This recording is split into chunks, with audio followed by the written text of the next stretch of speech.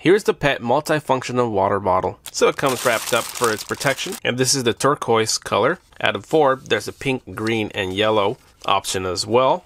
And on the bottom, you can see something down there already. And yes, it can stand up on its own, as you can see there. It's like a little scoop here. Okay, so it feels pretty nice. This is like rubber plated, but it's plastic. It can flex somewhat. And here we're gonna unscrew the bottom. There is bags. So you could, you know, pick up the doo-doo, pull it out from there. I'll try to give you a sample as well. And then the next step, and this little section is where you're gonna keep its kibbles. So you just pour it in here. And then the last one is the top portion, which is the water, and there is a little mechanism inside there. So when you press this water button right here, you can see right down there that's gonna actually allow the water to go through. The water is gonna come out of that little hole and fill up. So all I'm doing is, and just pull a little bit, close it. And this little shovel here is gonna be, for example, when we pull one out,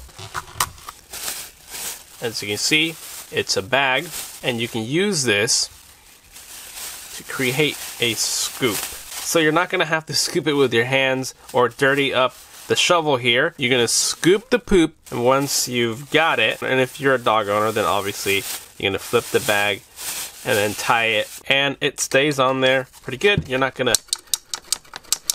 have that falling off. Okay, so now that we have the treats or kibbles, as you can see, the food is contained. You don't have to take them all apart just to get to one section. You can move them out. And we're gonna set some water, fill it up.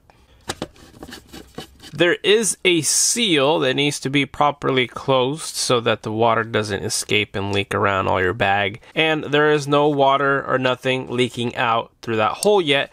But let's press this button here and, oh, there we go.